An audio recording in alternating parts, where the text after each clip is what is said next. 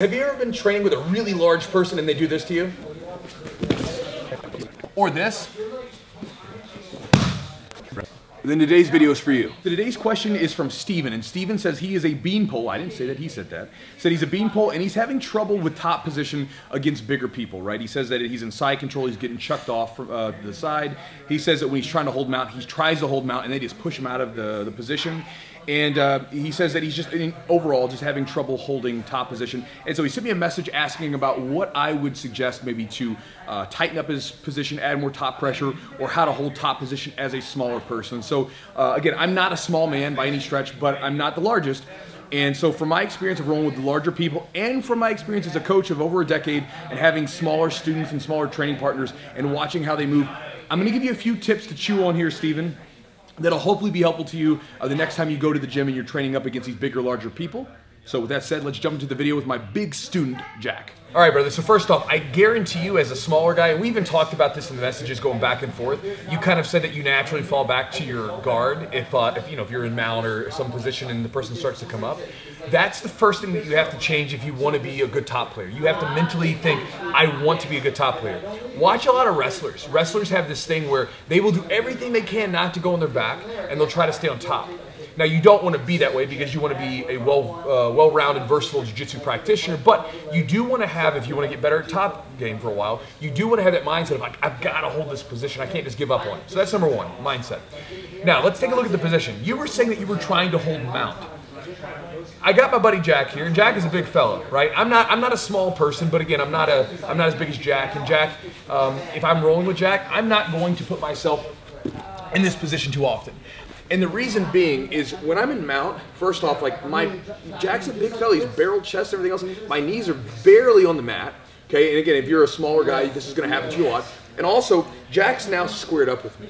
So if we think about like people pushing with their arms, lifting with their hips, all of that stuff is easier here, right? So like if Jack wanted to like push his hips up, boom, he'll lift me up, and then he can like literally, I mean, just press me off. do a big one. so, and um, you know, and maybe I can like, you know, get my weight down really low and stuff like that and make it difficult to do. Of course I can. And if you're really tall, sometimes it, it, can be a better position.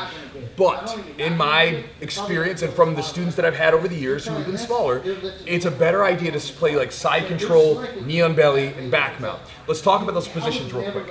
In side control, you were saying that you were getting rolled a lot.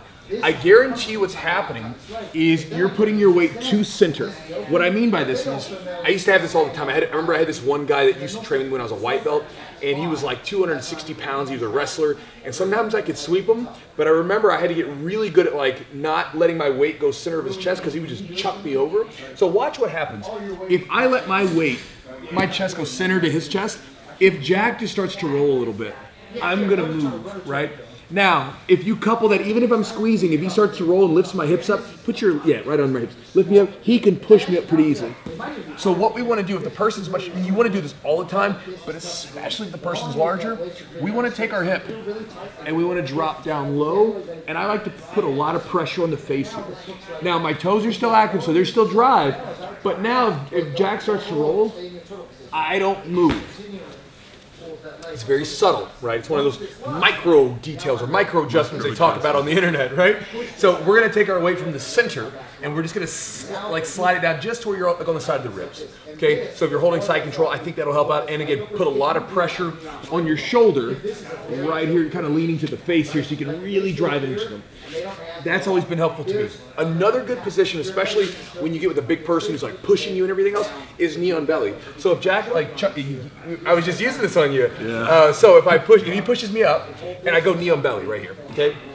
First off, I'm now out of range of his push, right? I can put pressure on him, and like if he starts to try to turn towards me, we can start to step over and move around you've got to think about this. As a smaller person, you're going to lack the strength, right? But you'll probably have a little bit more speed than the person that you're, you're working with. So you can start to basically work around them. I have a good friend of mine, Dave, who he, he used to have a great knee on belly. He was about 155, 160 pounds, you know, soaking wet. And he would just go back and forth and knee on belly people, and he would wear down these really big guys.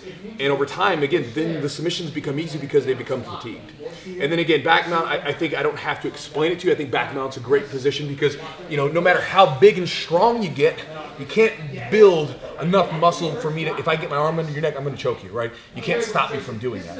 And so again, I would say just an idea to chew on for you brother, is when you're going to the gym next time, take the tips that I talked about about mindset, mi- mindset, mindset, dropping your hips in side control, using knee on belly, going back and forth and staying mobile, right, rather than trying to attach yourself.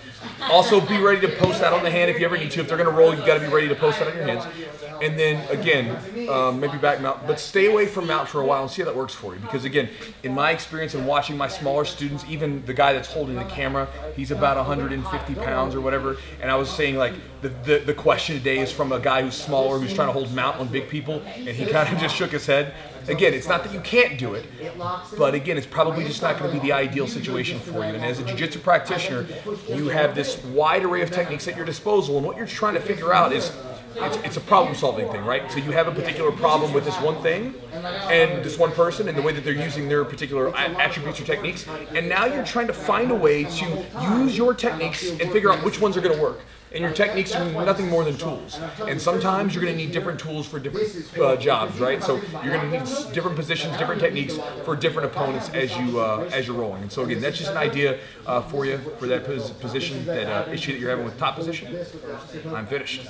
So Adam's not here. We don't know what to do. Don't know how to end the video because normally I say Adam and he does this. And, um, but uh, thanks for your time, Jack.